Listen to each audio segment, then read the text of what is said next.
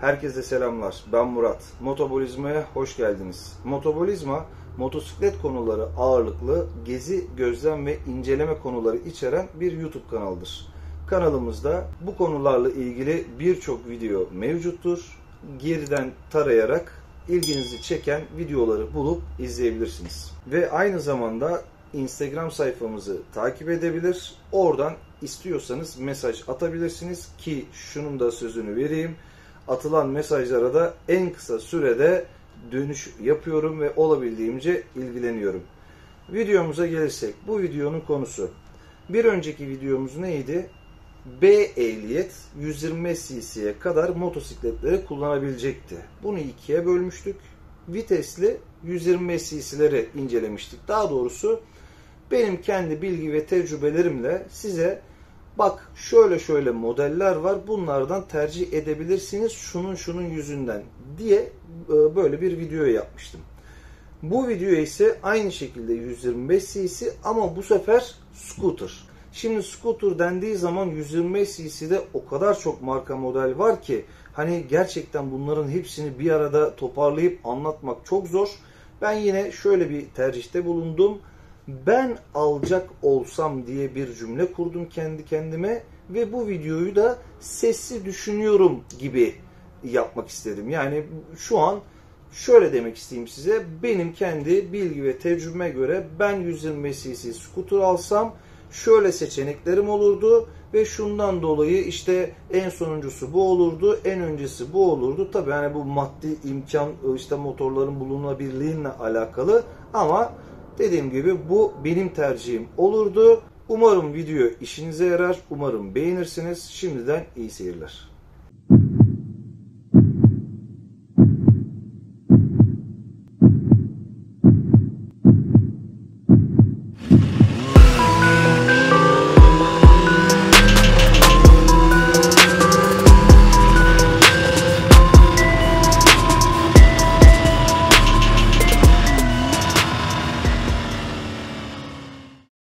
Herkese tekrardan merhaba. Hiç vakit kaybetmeden direkt mevzuya girelim, direkt videoya başlayalım.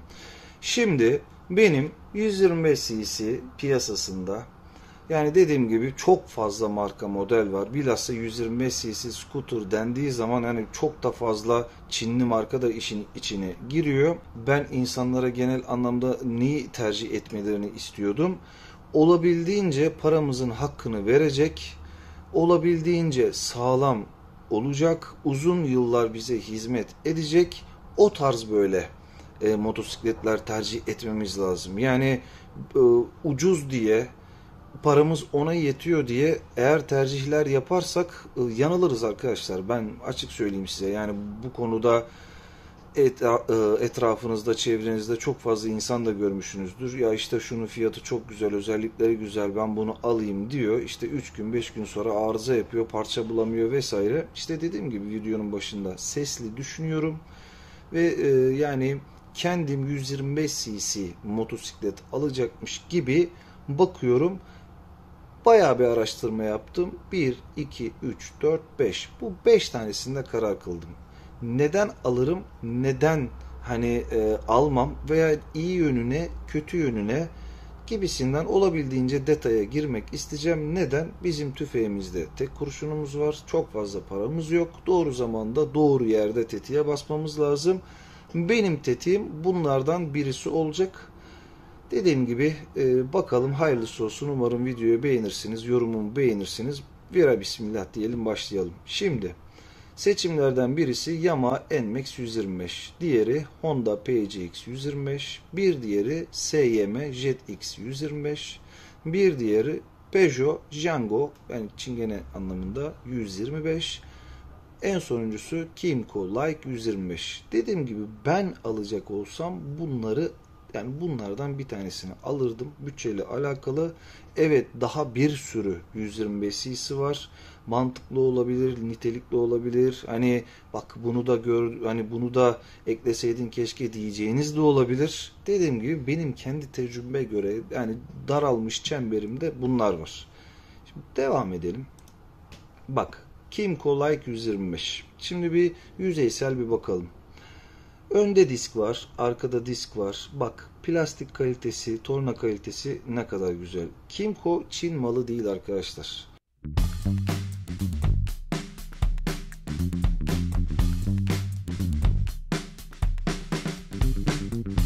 Kaldı ki SM ile birazdan göreceksiniz. SM ile beraber Kimco birbirine çok benziyor. Yani Türkiye'deki Arçelik'le Beko gibi. Yani çok uzun yıllar rahatlıkla kullanabileceğiniz kolay kolay arıza yapmayan bir markadır. Yani o markanın ürünleri bunlar. Devam edeyim. Bakın hani burada belli power led, sinyaller artık led olmuş. Artık yani ampul kullanılmamış. İşte aynalarda granajlar yani nasıl diyeyim ben size parlak metal e, granaj kullanılmış. Ondan sonra tutma kolu işte bak koltuk ne güzel koltuk kalkıyor altında bagaj var vesaire bak ne kadar güzel şıkır şıkır değil mi? Güzel paranın hakkını verir. Devam edelim. Yamaha NMAX 125 belki pazardaki lider veya liderliği zorlayan bir markanın bir modeli. Önde disk, arkada disk, muazzam bir far, yani estetik olarak zaten güzel. Koltuk açılıyor. içerisine işte bir şeyler koyabiliyorsunuz. Yani çoğu insanın hayalidir. Çoğu insan mesela bu videoyu belki NMAX 125'i görmek için bile izliyor olabilir. Evet gerçekten çok güzel bir tercih. Devam edelim. Sonra Honda PCX 125. Dediğim gibi liderliği birinciliği oynayan Türkiye için konuşuyorum. Motorlardan biri. Bu motorun sadece bir tane handikapı var. Arka frende balata var. Bir de sadece ön diskte ABS var. Ama yurt dışında bunun arka tarafında e, disk ve arkası ABS olan icabında NMAX gibi hani nasıl NMAX 125 155 var. Bunun da 150 cc'si var ve muazzam güzel motor. Yani e, yani çok büyük bir soru işareti Honda Türkiye neden getirmiyor? Çok ilginç bir şey ama kampana bile olsa ki şey gibi düşünün 5-10 milyon liralık tırlarda bile kampana sistemi var her tarafta disk değil. Öyle ya da böyle motosikleti durduruyor. Birazdan da bahsedeceğim. Yani muazzam güzel bir motosiklet. Sonra Peugeot Django yazıyor ama Django diye okunuyor. Bakın farın güzelliğine bakın. Peugeot'un amblemi, işte o aslan, lastik, jantlar, Hani ben bu motosikleti bizim iş, e, şöyle söyleyeyim iş yerinde bir arkadaşım da kullanıyor.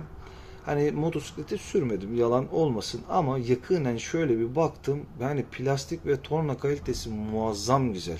Hani insan bunu yıkarken var ya böyle yıkamacıya falan vermez. Böyle bezle sile sile yavaş yavaş böyle hani çay demler, çayı içer, bir çay bir bardak içer, bunu siler. Bir bardak bardak içer, bunu siler.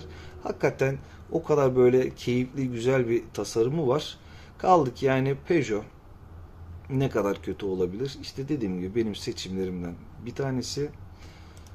Ondan sonra SM Jet X125. Bu motosiklet e, şöyle söyleyeyim ben size. Hakikaten çok güzel. En az bir PCX veya NMAX kadar güzel. Bu motosikletin bakın önde disk, arkada disk, ABS'ler, ne bileyim led farlar, işte koltuk altı bagajı, işte granajları, granajların kalitesi vesaire gerçekten muazzam. Hani bu motosiklet Yamaha'nın farklı bir ürünü veya Honda'nın farklı bir ürünü olmuş olsaydı inanın hani bence PCX'i veya NMAX'i bile geçebilirdi ama işte her zaman söylediğimiz gibi bizim Türk insanımızda olabildiğince Honda ve Yamaha sempatizanlığı olduğu için hani sıkıştığım zaman hemen satayım veya atıyorum başka motor için böyle e, motoru satacaksam bir an önce satayım da ona geçeyim. icabında takasta iyi para etsin gibi böyle düşüncelerin işte işte motosiklet kültürünle de biraz alakalı. Yani gerçek safkan motosiklet sürücüleri bu tarz düşüncelere girmez o ayrı mesele. Öyle bir şey olmuş olsaydı yani direkt number one derdim ama dediğim gibi SM yine Kimco gibi de Çin malı değil. Parça sıkıntısı yok. Motorlar inanılmaz sağlam, inanılmaz güzel. Yakıtları da güzel. Her şey güzel. Hani gelecekte mutlaka ve mutlaka Yamaha ve e, yani Honda'ya çok ciddi şekilde rakip olacaklar. Bunu da buradan söylemiş olayım ki hala da yani hala demeyeyim de yani bu motoru sempatizan yani bu motorların sempatizanları da var. Adamlar mesela direkt yeni modeli çıktığı zaman SM veya Kimco'nun direkt gidip alıyor. Hani zamanında bir şekilde küsmüş Honda veya Yamaha'ya Ya diyor benim artık onlarla işim yok. Zaten bayiye gitsen bulamıyorsun. Zaten bayi bile fiyat, hani neredeyse yarım kat daha fazla fiyat istiyor. İlla bir çorba istiyor hesabı. Ben onlarla uğraşamam, uğraşamam. Giderim aslanlar gibi yani liste fiyatını alır, paşalar gibi de gezerim. Çoğunluğu da haklılar. Yani demem o ki bu da böyle bir seçenek. Neyse. Şimdi şunların hepsini şöyle bir koyalım. Bunun altına da bu motosikletlerin özellikleri çok hızlı bir şekilde motosikletlerin özelliklerinden bahsedeceğim. Şimdi burada ne dedik? NMAX 125, PCX 125, SMGTX 125, Django 125 ve Like 125. Şimdi NMAX 125, 125 cc enjeksiyonlu 4 zamanlı 4 subaplı sıvı soğutmalı Soç yani üstten tek egzantrik otomatik vites CVT CVT şanzımanlı. PCX 125 cc aynı şekilde enjeksiyonu 4 zamanlı 4 subaplı sıvı soğutmalı Soç otomatik vites yani NMAX ile birebir aynı. JetX'e geldiğimizde yine 125 cc enjeksiyonu 4 zamanlı 4 valve sıvı soğutmalı Soç otomatik vites. Yani şu 3 motor şu an için tamamen motor sistemi aynı. Django 125'te 125 cc enjeksiyonu 4 zamanlı 4 valve hava soğutmalı. Bu motosiklet hava soğutmalı sıvı değil. Soç üstten tek egzantrik otomatik vites CVT. Şu üçü şu an sıvı soğutmalı bu hava soğutmalı. Leica geldiği zaman 124.8 cc yani 0.2 cc'yi nasıl artık hesaplayacaksan 125 diyebilirsin buna. Enjeksiyonlu 4 zamanlı 4 valve hava soğutmalı Soç üstten tek egzantrik otomatik vites CVT. Şimdi ilk başta ne oluştu? Ee, NMAX, PCX, JetX bunlar sıvı soğutmalı. Sadece sıvı soğutma farkı var. Bu ikisi de Django ve Like'da hava soğutmalı. Şimdi hava soğutmalı 125 cc'de çok sıkıntı yaratır mı?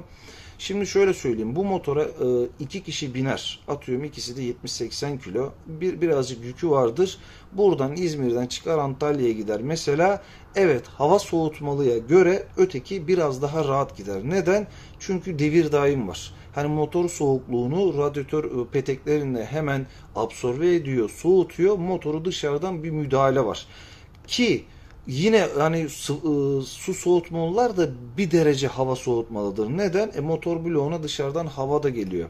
Hava soğutmalılarda ne var? Tamam Hani beygiri ona göre yapıyorlar. Çok yüksek üst devirlere çıkmasına e, izin vermiyorlar. E ona keza hava kanallarını, silindir yapılarını öyle bir hal yapıyorlar ki veya motorun konumlanmasını bol havanın e, böyle bütün motor silindir yani etrafında rahat rahat gezmesi, dolaşması için kanallar yapıyorlar. Şimdi şöyle söyleyeyim yani çok yüksek cc, 1000 cc, 1200 cc olup hava soğutmalı motorlar bilhassa çapırlar da var. Yani direkt hava soğutmalı diye Aa, bu iş görmez gibi düşünmeyin. Sadece biraz menzille alakalı. Şimdi buradaki insanlar aslında biraz daha mantıklı düşünmüş. Niye? 120 cc motorla tutup da buradan İzmir'den insanlar kolay kolay Antalya'ya gitmez. Ama Buradaki insanlar diyor ki piyasa sert, piyasa sağlam. Ben olabildiğince en maksimum şekilde motosikletimi yapayım ki hani bu bile insanların benim tercih etmesi için bir sebep olsun gibi. Sonrasında NMAX'te 8000 devirde 12.2 beygir, 6000 devirde 11.2 Nm tork var. Güzel mi? Süper. PCX'e bakalım. 8750 devirde 12.5 beygir, 6500 devirde 11.8 Nm. Burada ne var? Daha düşük devir. Mesela NMAX daha düşük devirde beygiri daha yüksek. Ama e, şöyle söyleyeyim. PCX'in tamam biraz daha yüksek devirde torku biraz daha yüksek. Ya 125 cc'de yani beygir bir derece de bence biraz tork önemli. Çünkü yani güç lazım. Yani bunlar zaten çok hızlı giden motosikletler değil. Hani olabildiğince yokuşa mokuşa falan çıkması lazım. Şimdi JetX'e gelecek olursak 8000 devirde 12.4 beygir, 6500 devir dakikada 11.5 Nm. Hmm. Şimdi bu ne anlama geliyor? Beygiri NMAX gibi daha düşük devirde hemen yakalıyor ama tork için birazcık daha böyle e, PCX gibi devrinin yükselmesini istiyor. Olsun bu da çok güzel. Django'ya geldiğimizde 8000 devirde 10.6 beygir. Ondan sonra 6500 e, devir dakikada 8.5 Nm. Az önce ne demiştim? Çok yüksek devirlere çıkmasını veya çok yüksek beygir vermesini hava soğutmalı motorlarda çok istemiyorlar. Neden? Uzun ömürlü e, olabilsin diye. Yani hava soğutmalı demek yani maksimum performans anlamında değil. Zaten burada da belli. Bakın e, bu üçü 12 beygirlerde gezerken bu yani küsuratları atarsak bu 10 beygir gibi bir şey. Yani arada 2 beygir yani 2 beygir yani şu anki hesaplara göre %15 %17 gibi bir rakam. Ama dediğim gibi hava soğutmalı. Ha bu beygir bu motosiklete yeter mi? Kesinlikle yeter. Yani kesinlikle yeter. Ya şey gibi düşünün eskiden mobiletler vardı hani kasnaklı. Onlar da aslında bir derece CVT. Yani onlar bir beygir mi iki beygir mi neydi? Düşün yani onun süren kişiyi 50-60 kilometreler çıkartıyorlar. Ha, tamam o motosiklet 2T'di ama hani 2-3 beygir e, hani nasıl bir güç veriyordu kullanan kullananlar için söylüyorum ama 10 beygir de yani e, öyle küçümsenecek bir e, rakam değil. Yani iki kişi güzel yokuşlara dahi çıkartır sizi. Kimco Like 125'e geldiğimizde 8500 devir dakikada 11.6 beygir, 6500 devir dakikada 10 Nm de tork üretiyor. Şimdi hemen yanındakine o da hava soğutmalı ya bir karşılaştıralım. Bakın 3 aşağı bu 500 devirde yani birazcık daha böyle devrini yükseltmişler. O da yaklaşık 1 beygir gibi bir performans sağlamış. Ama aynı devir dakikada e, burada da aslında bir şey yapmış. Burada ne anlama geliyor? Yani Kimco tamam biz hava soğutmalı olabiliriz ama bizim motorumuz yani bir derece idare eder güçlü. Yani biz buna teknolojimizi koyduk gibi söylüyor. Şimdi buradan da yola çıkarak ne diyoruz? Su soğutmalılar evet beygir ve tork olarak hava soğutmalılardan bir tık daha iyi ama hava soğutmalılar hala pes etmiyor. Niye pes etmiyor? Çünkü yani e, dediğim gibi hani öyle buz gibi veya böyle cehennem sıcağı bir hava olmadığı sürece ötekinlerle siz nereye gidiyorsanız biz sizin peşinizde gelirim der gibi beygirimizle gücümüzle peşinizden geliriz der gibi bir izlenim sunuyor. Şimdi lastiklere gelecek olursak yani scooter'da aslında şu an için lastikler o kadar problem değil. Üstten geçeyim. NMAX'in 110 70 13, 130 70 13, PCX'in 110 70 14, 130 70 13, JetX'in 110 90 14, 110 80 14, Django'nun 120 70 12, 120 70 12, Like'ın yani like 125'in 110 70 12 130 70 12 hepsi de duplex. Ne anlama geliyor? İç lastik yok. Bir şey girdi çıktı.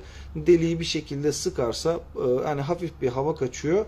Bir yere gidece gideseye kadar sizi hani tutar. İşte fitille mitille işte görebilirsiniz.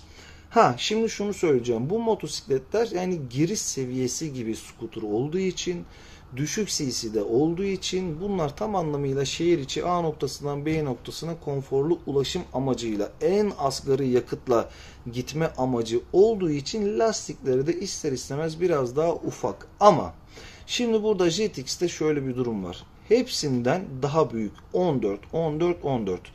14 daha büyük bir lastik skuturda ne işe yarar? Ee, yüksek süratlarda yola daha hakim olmanızı ve virajlarda daha güzel yatabilmenizi sağlar. Bu e, demek değil ki öteki motosikletlerde işte virajda yatamıyor veya işte doğru düzgün gidemiyor. Değil. Bak mesela burada ne vardı? PCX'in de 14 ön lastiği, JetX'in de 14. Ama bunun arkası da 14, bunun arkası 13.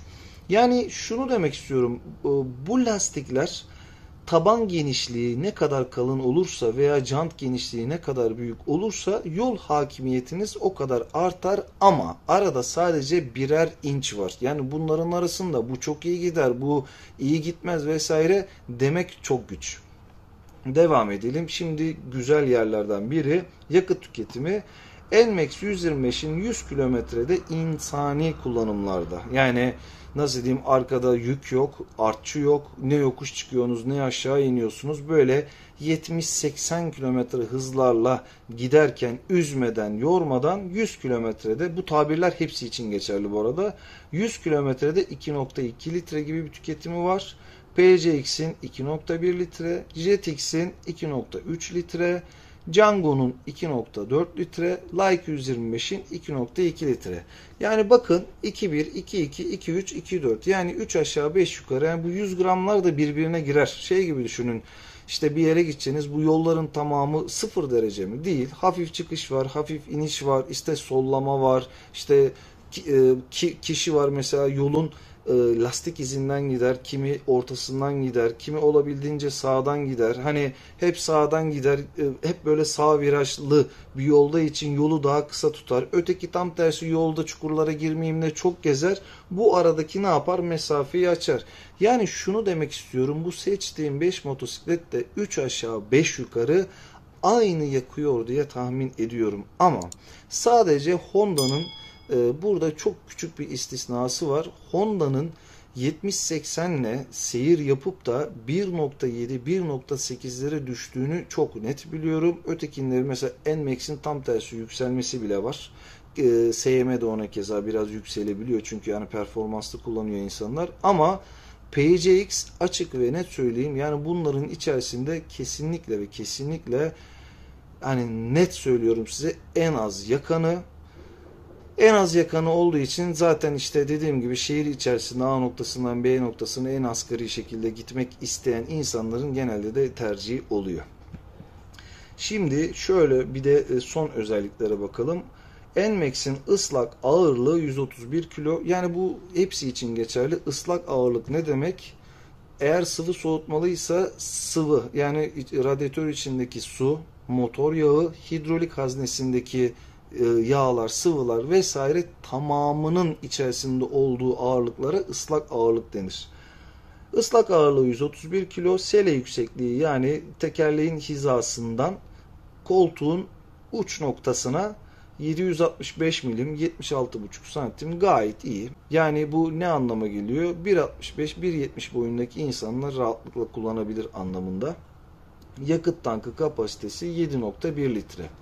Buraya gelecek olursak PCX'te ıslak ağırlığı 130 kilo. Yani 1 kilo fark edemezsiniz bile.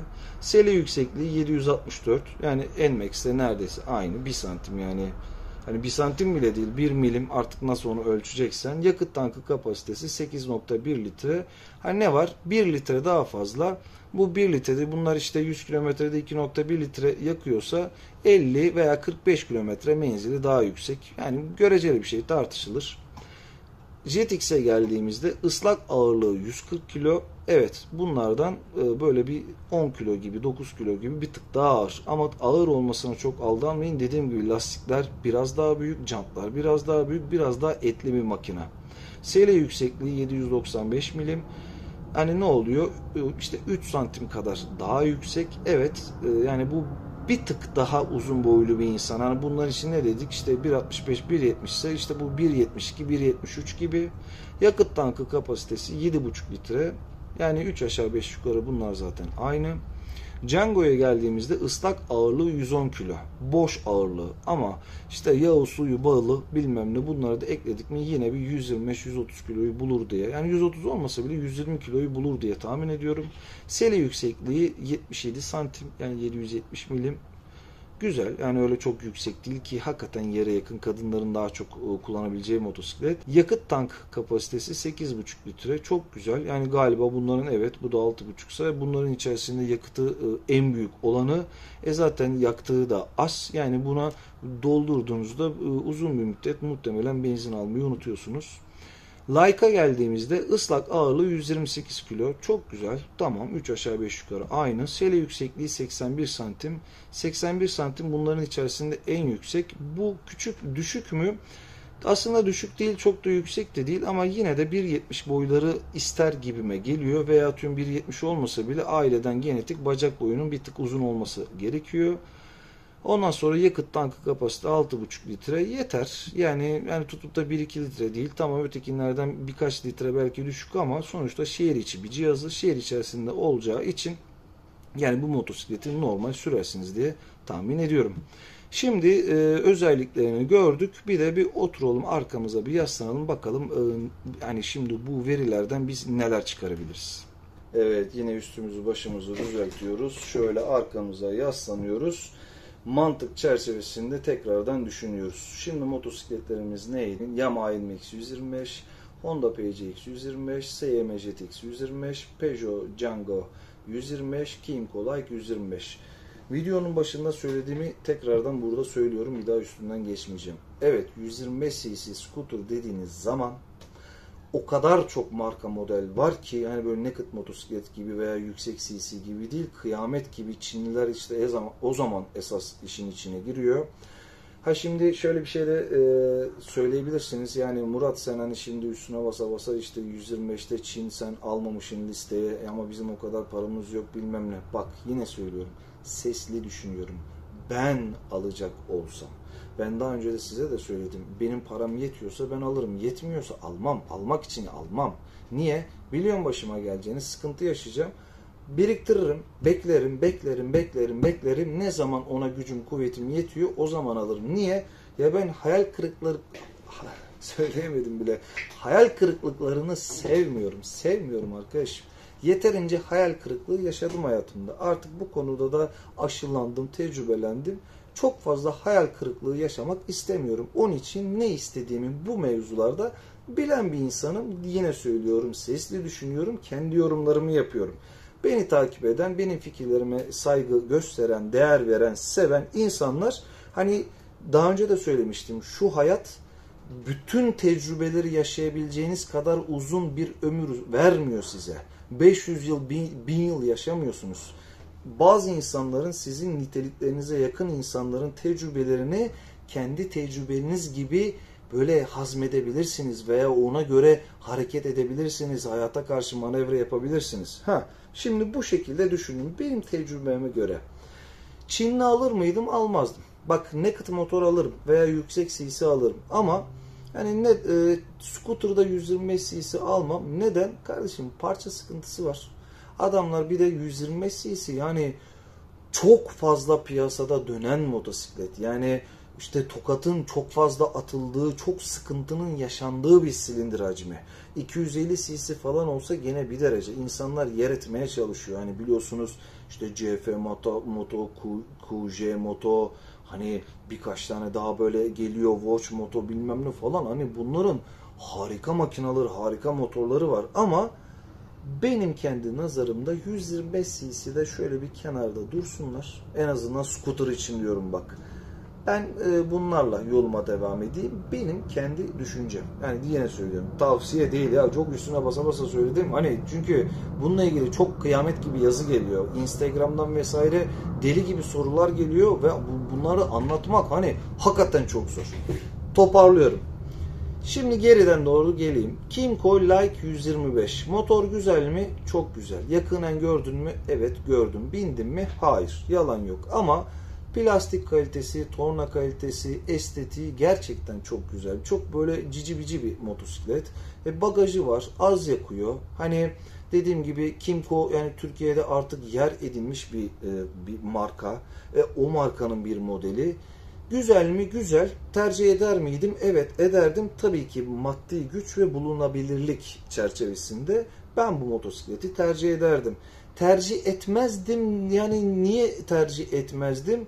Hani tabii ki keşke sıvı soğutmalı olsaydı ama şimdi kafa şeye gidiyor. Böyle tur yapan, enduro motosiklet seven, dağlarda, tepelerde veya uzun yolda giden Murat'a e, bu sefer e, zih, zihin gidiyor. Ama onu biraz dizginliyoruz. Ne diyoruz? Parantezi açıyoruz ve öteki taraftan kapatıyoruz. Araya şunu yazıyoruz. Şehir içerisinde A noktasından B noktasında en asgari yakıt ve konforla giden motosiklet. Evet bunları dediğimiz zaman kendi listemde 5. sıraya Kimco Like 125 giriyor. 4. Peugeot Django 125. Peugeot bir motosikletim e, var mıydı? Yoktu. Hiçbir zaman hayatımda olmadı. Bu motosikleti kullandım mı? İtiraf ediyorum kullanmadım. Üzerine oturdum. Ama çok keyifli. Yani dediğim gibi plastik ve torna kalitesi o kadar güzel ki o kadar güzel anlatamam. Hani hakikaten o motosikleti yıkamak isterdim ya veya ufak tefek böyle bir bakım yapmak isterdim. Hakikaten çok güzel. Kullanan kişi de sorun yaşamadığından bahsediyor. Yakıtının güzel olduğundan bahsediyor. Kaldı ki Peugeot yani Peugeot'un ya 100 yani 100 yılı geçmiş bir e, makina e, bir nasıl diyeyim tecrübesi var. E, bu, bu adamların zaten otomobilleri var. Hani Fransa'nın nasıl bütün dünyaya e, yaptığı gönderdiği bir marka. Yani çok sağlam bir, çok güçlü kimlikli bir marka.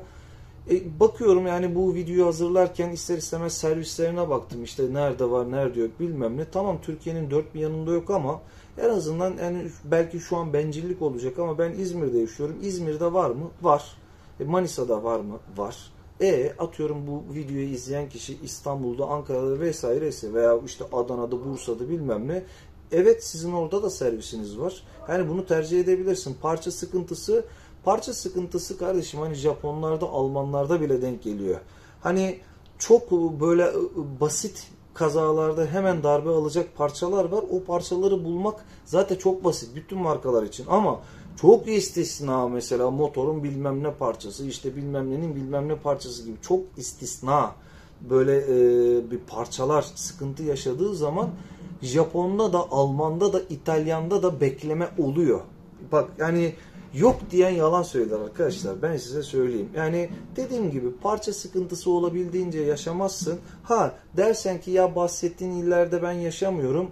Olabilir. Bak o zaman tercih etmeyebilirsin ama yine söylüyorum size düşünüyorum. Benim bulunduğum bölgemde servisi var. Onun için ben bunu tercih edebilirim. Üçüncü sıraya geldiğimizde SM JetX 125. Güzel mi? Belki de en güzeli. Açık söyleyeyim. Belki de en güzeli. Ama bir Yamaha ve Honda hmm, nasıl diyeyim böyle bir otoritesinin olduğu yerde hala böyle mücadele peşinde. Ha şu anki ivmelenmesi devam ederse aynı güçte sürekli yani bu şekilde piyasaya bastığı gibi baskısını yaparsa ileride böyle yani iki büyükler değil de üç büyükler gibi olur. Ondan da çok derinden böyle söz ederiz ama Motor ne kadar mükemmel olsa da özellikleri vesaire harika olmuş olsa da ister istemez NMAX ile PCX'in gerisinde kalıyor. Tercih edilir mi? Kesinlikle edilir. Kullanılır mı? Gönül rahatlığında kullanılır. Parça sıkıntısı %90 yaşamazsın ama az önce dediğim gibi bazı parçalar var. Çoğu marka modelde bile sıkıntı. Alınır mı? Alınır. Satılır mı? Satılır. Hani keyif verir mi? Kesinlikle keyif verir. Evet ben o alacak olmuş olsam yani e, üçüncü sırada alabileceği motosikletlerden biri. Şimdi PCX ve NMAX'i ikisini de birinci sıraya yazıyorum. Yani bu bir bu iki değil. PCX işte NMAX'ten üstün veya NMAX PCX'ten üstün inanın ki diyemiyorum. Diyen de yalan söyler. Direkt markanın sempatizanlığını yapar. Şimdi bak NMAX'te evet ön arka disk fren.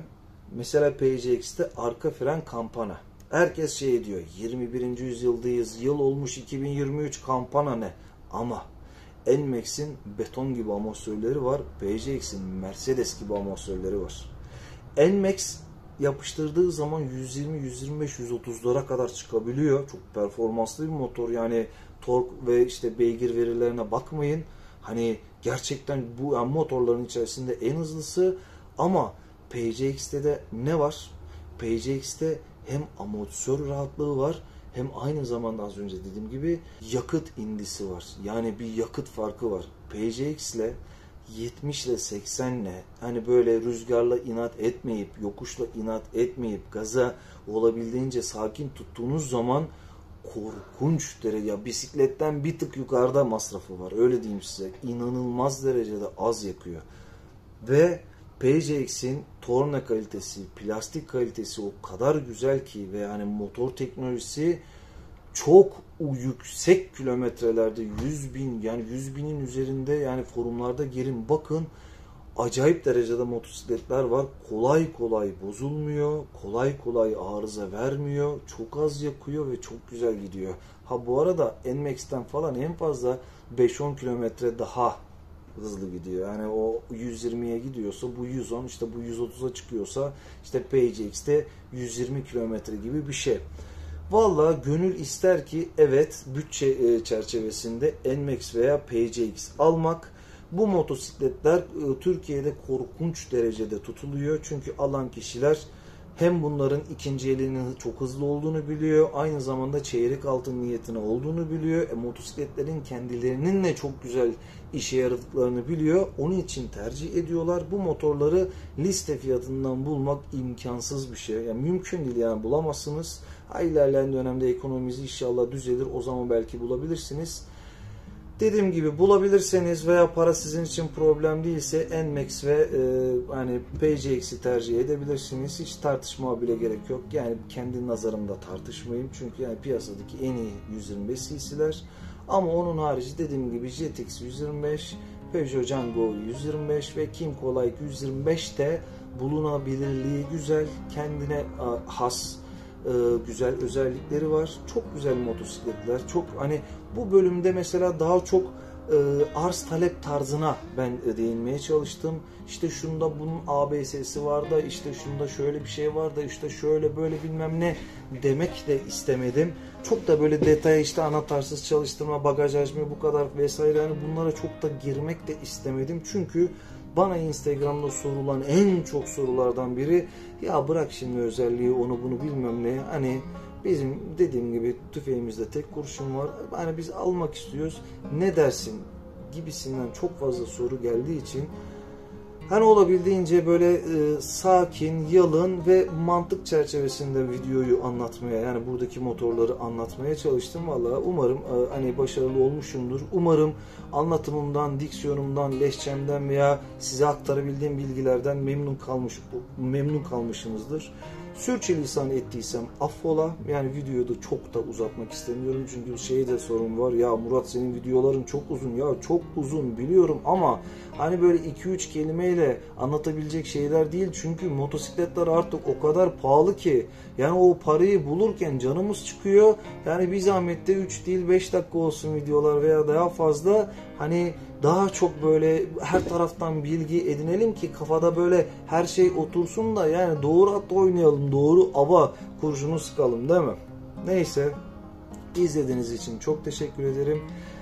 Kanalıma e, yani abone olursanız ve işte videomu beğenirseniz çok sevinirim. Söylemek istediğiniz veya işte bak burayı yanlış söyledin işte bunun doğrusu bu veya eklemek istediğiniz bir şey varsa üşenmeyip aşağıdaki yorumlar kısmına yazabilirsiniz. Çok sevinirim. Dediğim gibi e, Instagram'dan soru sorarsanız çok hızlı bir şekilde cevap vermeye çalışıyorum. Biraz geç kalabilirsem de hakkınızı helal edin kusura bakmayın. Olabildiğince yani ben motosiklet camiasına elim gücüm yettiğince yardımcı olmaya çalışan bir bireyim. Bunu da size söyleyeyim. Videomu izlediğiniz için çok teşekkür ederim. Bir başka motobolizma videosunda görüşmek üzere. Hoşçakalın.